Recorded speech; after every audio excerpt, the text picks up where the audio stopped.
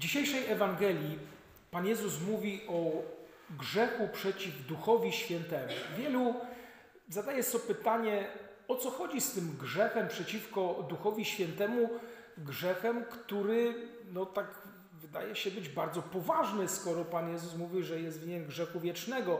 W innym miejscu w Ewangelii znajdziemy nawet odpowiedź, że ani w tym życiu, ani w przyszłym nie może być taki grzech odpuszczony.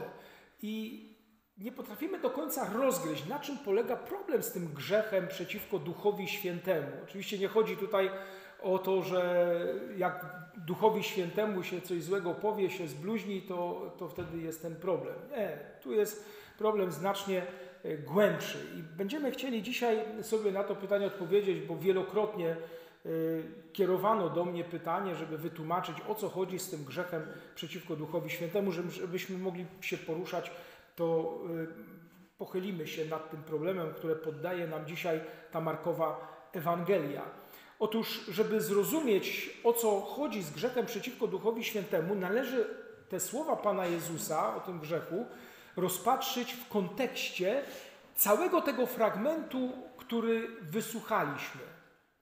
Moi drodzy, przychodzą do Pana Jezusa uczeni w piśmie. Tam jeszcze Ewangelia pięknie mówi, że przyszli z Jerozolimy. Ja Wam kiedyś tłumaczyłem symbolikę biblijną.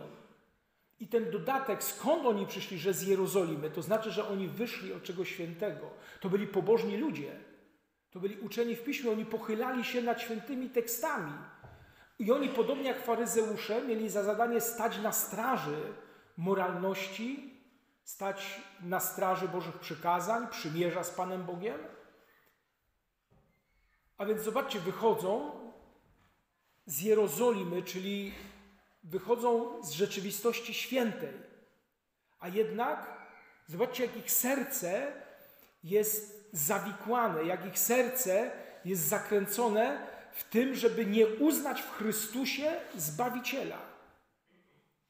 I to dlatego właśnie koniec tego fragmentu Markowej Ewangelii, kiedy Pan Jezus mówi tym uczonym w piśmie, na czym polega grzech przeciwko Duchowi Świętemu, to właśnie ewangelista kwituje ten, ten cały opis, że mówił o tym dlatego, że powiedzieli do niego, że ma ducha nieczystego.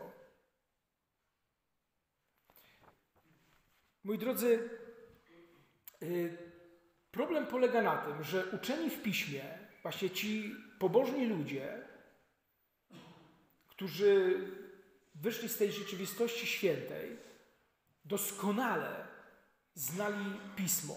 To byli uczeni w piśmie. Doskonale znali zapowiedzi proroków. Wiedzieli, co prorocy, co Stary Testament mówi, zapowiadając Mesjasza, którego oczekiwano.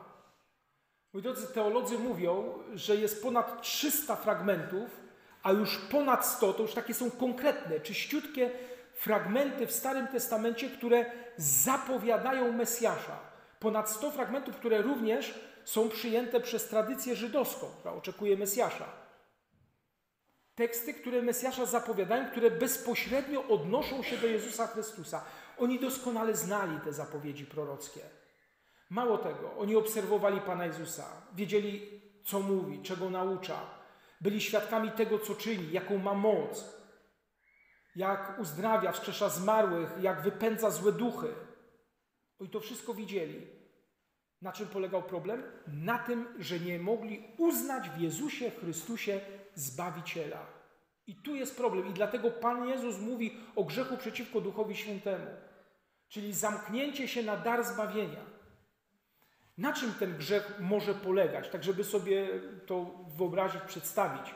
On może mieć różne znamiona. Oczywiście to nie każdy przypadek musi być grzechem przeciwko Duchowi Świętemu i tak bardzo zły w swoich konsekwencjach, bo to Pan Bóg ocenia. Ale pewne znamiona, które mogą świadczyć o takim grzechu.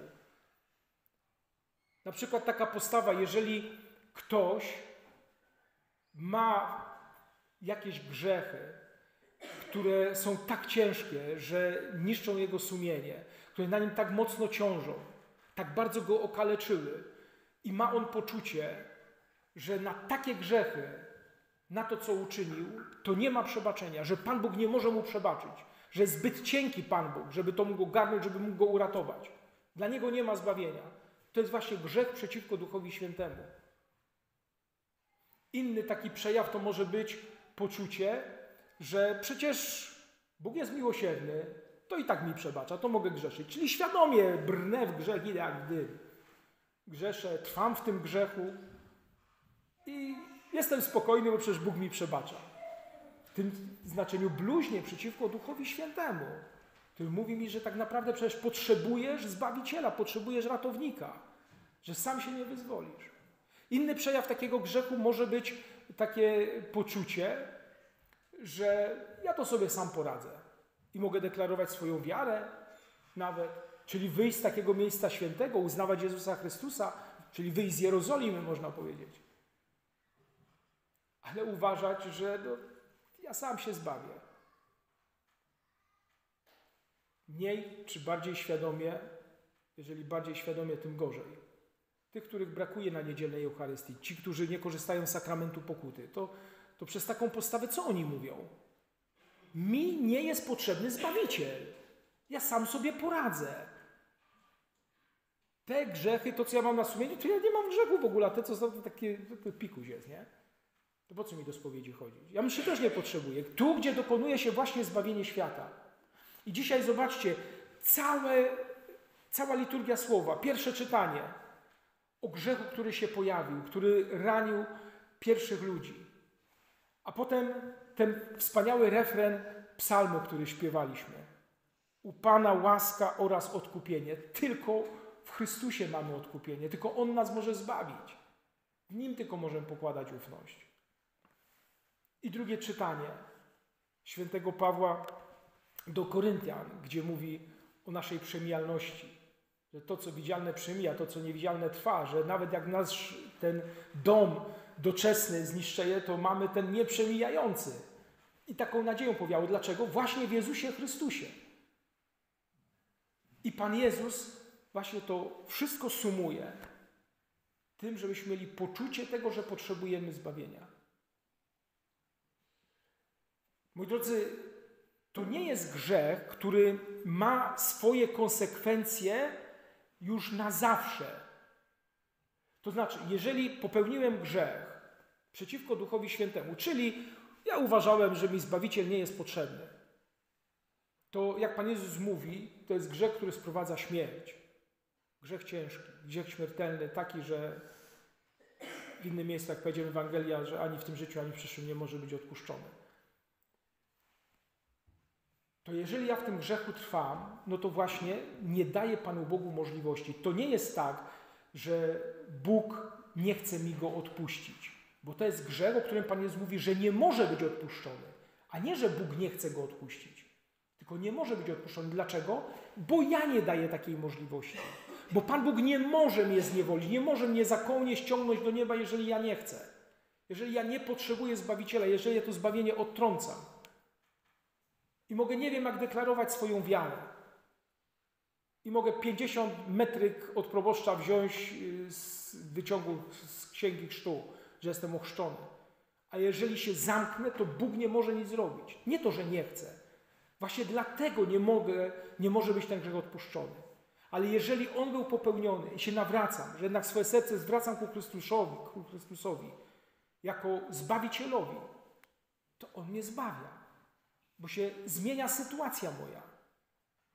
I jeżeli mam obawy, czy ja może jestem, podpadam pod te grzechy i tak dalej, jeżeli chodzisz do kościoła, jeżeli twoje serce tęskni za Chrystusem, jeżeli pragniesz zbawienia, korzystasz z sakramentów, jak dopadnie cię grzech i on ci przeszkadza, wtedy idziesz do spowiedzi i przyjmujesz komunię świętą, to możesz być spokojny. To nie masz nic wspólnego z grzechem przeciwko Duchowi Świętemu.